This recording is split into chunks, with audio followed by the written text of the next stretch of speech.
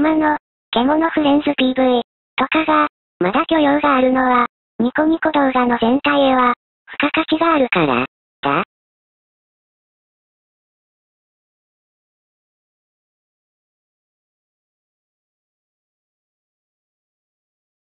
各種絵師の技術、それの実用性とか PR とか、意味は、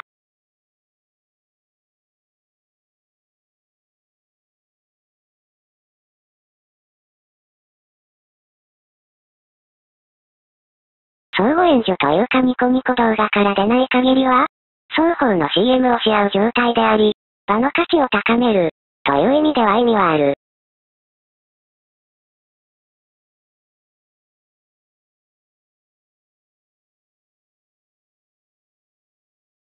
ただ、現在の脅威として独裁性、それ、から始まる、売春の強要、それは大きな宿敵であり、その時、怖い、絵が、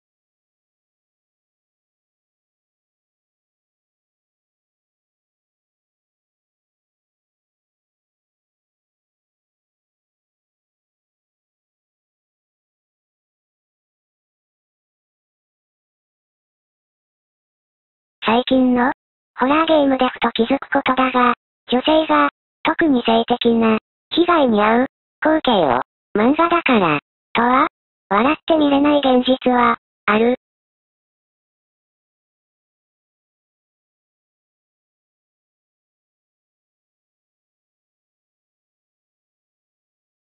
萌えアニメでもきつい時はきついが、あくまでも、肝歌にレイプされるより、多くの方が良い、とか、そういう反応ではあり、意外とキャラそのものへの心配はして、ない。